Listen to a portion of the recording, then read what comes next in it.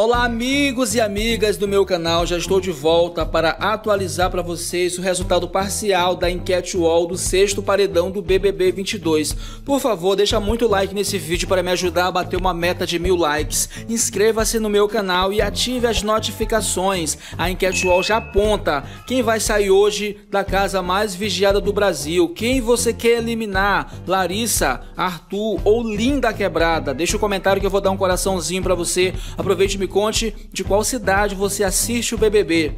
Continua liderando para deixar o programa hoje, nesta terça-feira, Larissa, que está com 63,23% dos votos. Na segunda posição, aparece o Arthur, já com 24,06% dos votos, se aproximando aí de Larissa e se, e se distanciando aí de Linda Quebrada. E Linda Quebrada na terceira posição, com apenas 12,72% dos votos. Mesmo assim, quem continua liderando para ir embora do BBB 22 nesta terça-feira é Larissa, que está com 63,23% dos votos até o momento. Deixa o like no vídeo, inscreva-se no canal e ative as notificações que mais tarde eu volto com outra atualização dessa enquete. Um grande abraço e eu te vejo no próximo vídeo. Até mais!